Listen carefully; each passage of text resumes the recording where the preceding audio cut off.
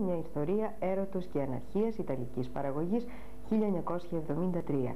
Πρόκειται για την πιο φημισμένη ταινία της Λίνα Βερτμίλερ που έκανε το γύρο του κόσμου γνωρίζοντας τεράστια επιτυχία. Ένα χαρακτηριστικό ιταλικό φιλμ όπου το δράμα ανακατεύεται με την κομμωδία αλλά και με έντονα τα στοιχεία της συγκίνησης. Ο Τζανκάρλο Τζανίνι και η Μαριάντζελα Μελάτο που πρωταγωνιστούν επιβλήθηκαν με αυτή την ταινία ως διεθνείς αστέρες.